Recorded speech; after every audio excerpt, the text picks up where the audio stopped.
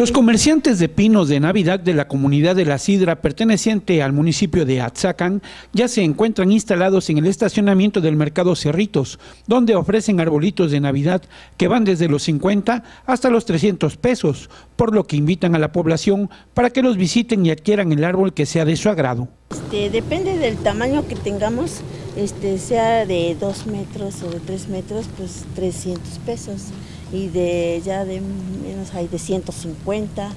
a 100 pesos los chicos, hasta de 50, pesos. Pero este, ahora sí que gracias a Dios y a las personas aquí estamos ahorita afuera, pero más antes que nos ponían allá adentro no vendíamos, ¿eh? la verdad no vendíamos. Y aquí pues ahora sí estamos acá, pero pues aquí les vamos a dar un mejor precio para que vengan todas las personas a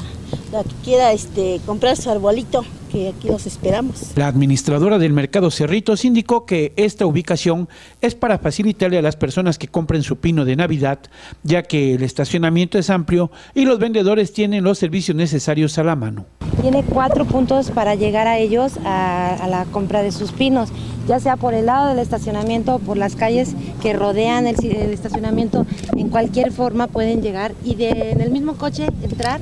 y comprar su coche y cargar su árbol y cargarlo. Entonces creemos que este lugar para ellos es un buen lugar, hay un buen acceso para la gente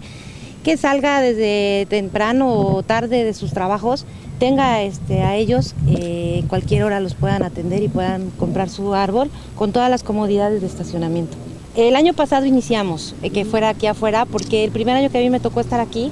fueron adentro y la verdad yo vi que pues pobres no vendieron. El mercado se cierra a las 8 de la noche y ya no había mm, después de las 8 modo de comprar un árbol.